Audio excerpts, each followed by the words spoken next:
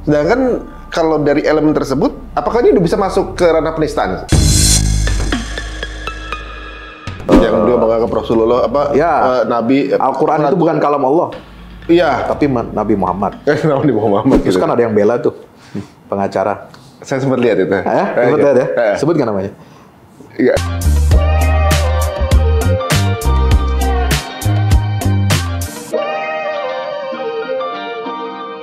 Kenapa dia melakukan itu ya? Hemat saya, ini dugaan saya. Itu ingin memancing, melihat reaksi, melihat reaksi, mengukur. Iya. Ini eh, sedalam Ngetes- apa ini? Ngetes ini Test the ya. water. Test the water. ya? Sedalam apa ini air Hmm. atau sumur ini, gitu kan? Eh, dia akan melihat respon. Kemudian yang kedua, eh, sekarang kan eh, eh, musim politik, ya, musim politik ya eh, ada ada memang organisasi-organisasi atau kelompok-kelompok aliran-aliran yang genit dan- dalam tanda petik ya, ingin Cari perhatian. ya? mencari perhatian dan ingin mendapatkan dukungan, eh, apa, perlindungan dari eh, eh, pe- siapalah yang berkuasa gitu kan kita nggak tahu. Eh, makanya dia melakukan hal itu. Ya, jadi eh, sekaligus juga eh, akan mencoba. eh, yang ketiga juga ingin mencoba. Kalau menurut saya begini, sekarang kan wakil presiden kita kan Iya, ulama, mantan ketua MUI, ya, kemudian tokoh besar Nahdlatul Ulama, gitu ya. Nah sementara di akar rumput eh, pesantren Al Zaitun kan ditolak oleh NU sejak lama, oleh Kiai NU, Kemarin juga ditolak lagi ya sebenarnya oleh kan? kultur maupun struktural. Mm-mm. Nah ini kan artinya nantang, ya gitu kan. Ditolak masih petik, bisa berdiri gitu ya? Nah, Israel masih bisa berdiri dan se- pada saat sekarang eh, wakil presiden kita adalah tokoh NU dan tokoh MUI gitu yang mengeluarkan fatwa. Makanya dia serang MUI terus tuh. Dia serang MUI. Ya, Oh iya ya, maksudnya iya.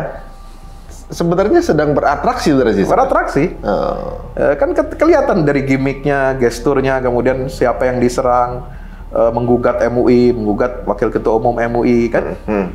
gitu. Jadi Sempat- arahnya sana. MUI juga ya? Iya. Hmm. Ini uniknya begini loh, Sat. Ibaratnya kan ya kalau kita lihat bukan cuma satu, Hmm. bahkan lebih bahwa ya gini, kalau ada kesan di masyarakat gini saat misalnya kita ngaji nih, ngajinya agak beda sedikit lah. Kadang-kadang kan yang bedanya ya perkara furu ya. Ya. Eh, ada sedikit perbedaan gitu ya. Yang satu begini, satu begitu. Kadang-kadang yang lain tuh udah menganggap eh, salah nih, kafir nih gitu misalnya. Atau juga mungkin ada lagi kesalahan dari satu apa namanya orang yang sudah ngaji gitu. Kalau salah langsung blow up membesar, bisa lari ke ranah hukum, bisa langsung viral, Ya, ya. diserang buzzer segala macam gitu. Tapi ini yang unik adalah Al Zaitun ini butuh alasan apa lagi? Sedangkan kalau dari elemen tersebut, apakah ini udah bisa masuk ke ranah penistaan? Ya, eh, kalau ditanya sudah masuk ranah penistaan agama atau tidak, itu eh, itu ranahnya MUI ya. Hmm. Karena MUI yang meneliti, mengkaji, dan kemudian memfatwakan. Hmm. Eh, sampai hari ini fatwa MUI tentang Al Zaitun belum dipublish, walaupun sudah ada, sudah keluar. Belum Waktu saya- resmi? belum Belum resmi. Ya sudah, sudah resmi, Resmi. tapi tidak dipublish. Oh, Ya, bukan untuk konsumsi publik. Alasannya nanti akan dibuka ketika persidangan. hmm. Eh, kalau menurut saya berarti MUI yakin eh, Panji Gumilang ini akan disidang. oh, Karena eh, kata MUI, ini kata MUI ya, bukan kan? Eh, kata tokoh MUI yang saya hubungi, eh, itu eh, fatwa ini eh, tidak untuk publik sekarang, tapi akan dibuka di persidangan. Ya, nah mudah-mudahan sih memang bisa disidangkan betulan gitu.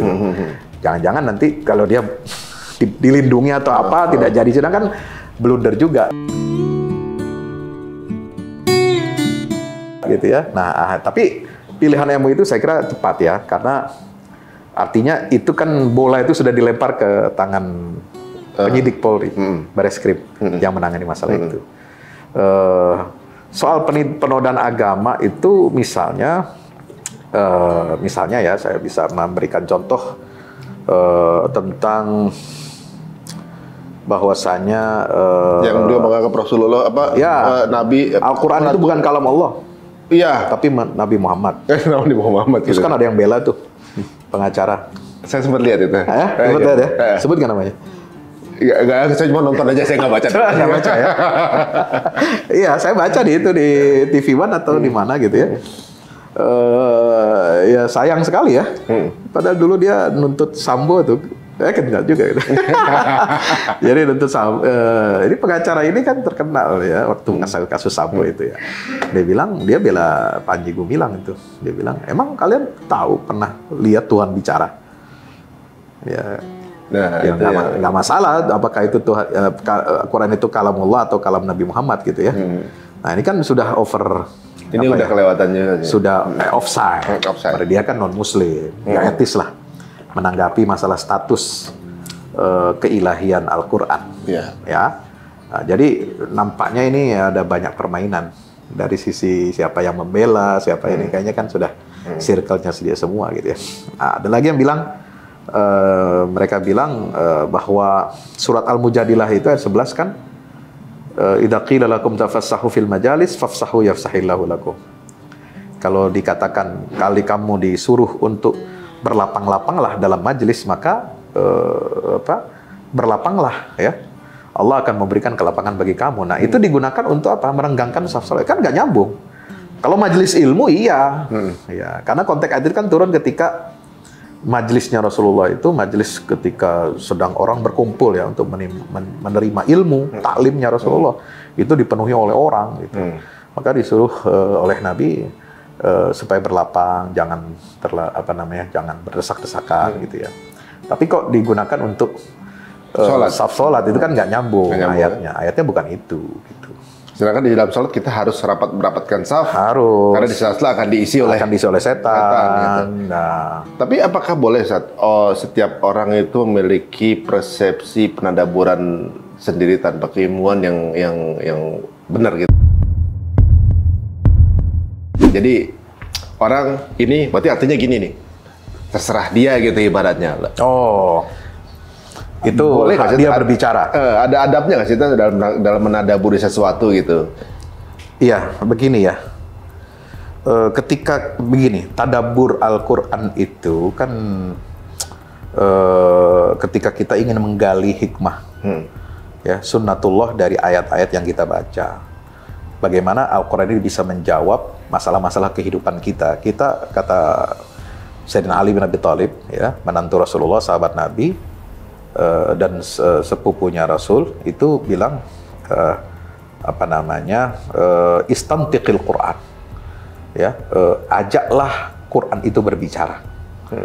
Untuk apa? Untuk memberikan solusi bagi masalah-masalah kehidupan kita.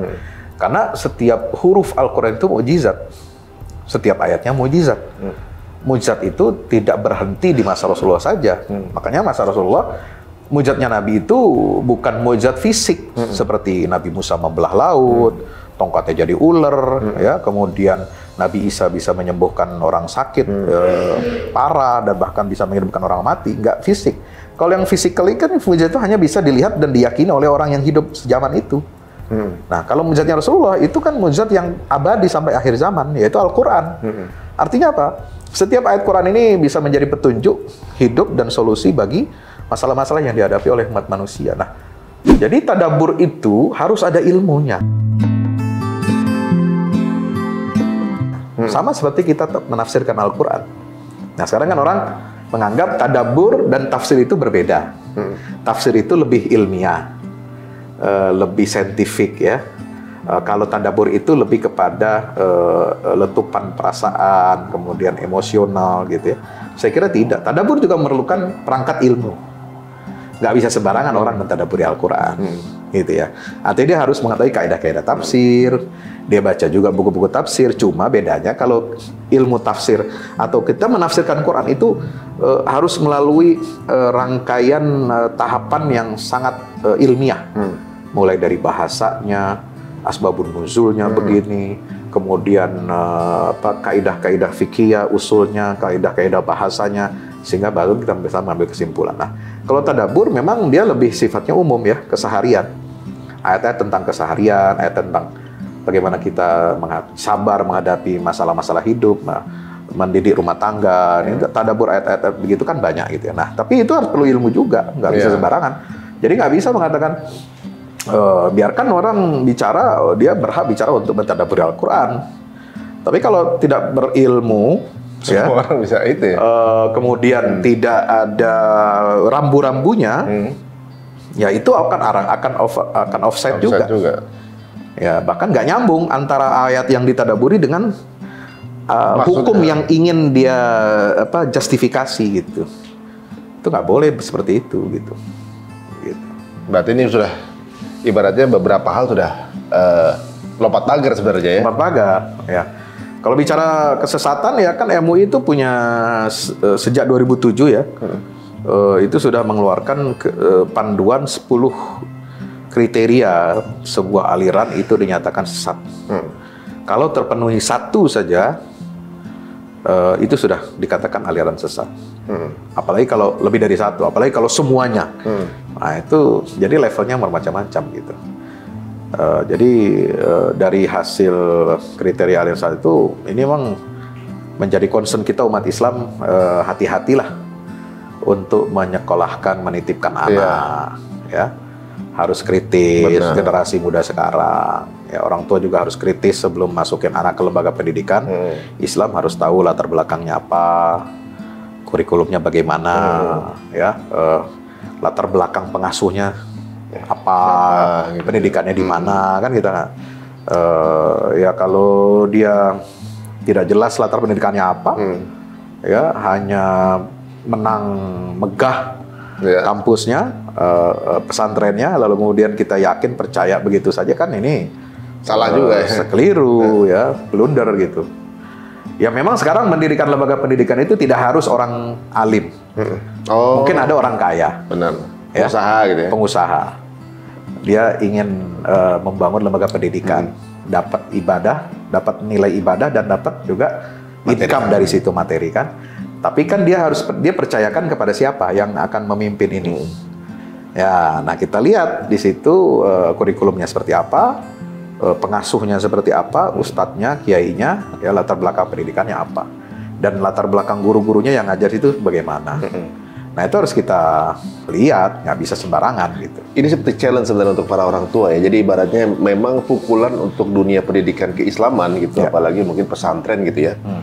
Eh, dari ratusan ribu pesantren, mungkin tentunya nggak semuanya baik gitu ya. Pasti ada juga mungkin yang offset juga banyak gitu ya. Hmm.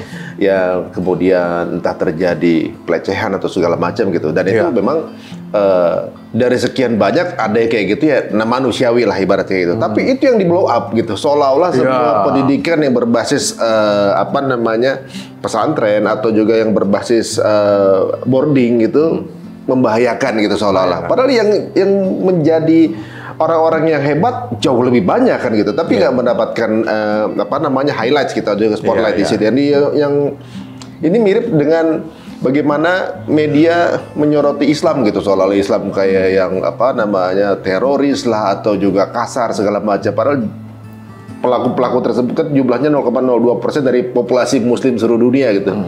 Tapi media memilih itu untuk menjadi sorotannya. Sama seperti eh, apa sekolah-sekolah Islam itu soalnya jadi orang tua zaman sekarang pada Ya, takut, ya. takut nih gitu. Padahal yang baik banyak gitu ya. Banyak. ditambah ada lagi Al Zaitun Tambah wah lagi. udah tambahan kan In- Iya, iya, intinya jadi ibaratnya udah udah kena gebuk sana sini daerah sini. Iya. ini ada lagi yang begini.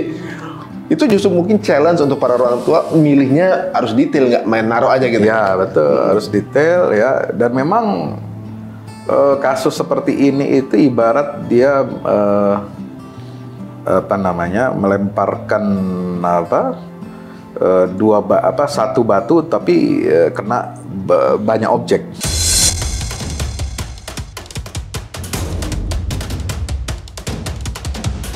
Makanya saya bilang di di media mas di televisi itu saya bilang ini mirip ide doktrin teroris. Hanya caranya mereka tidak nyuruh pengikutnya ngebom, tidak suruh melakukan aksi ke terorisme dan uh, ekstra apa namanya penghancuran tempat-tempat publik, tapi eh, dengan apa? Dengan eh, mengumpulkan dana-dana secara ilegal, gitu, Eh, mengkafirkan orang tua ya. Jadi eh, kalau ada saudara kerabatnya yang tidak masuk itu tidak dibayar, eh, maka dia halal hartanya.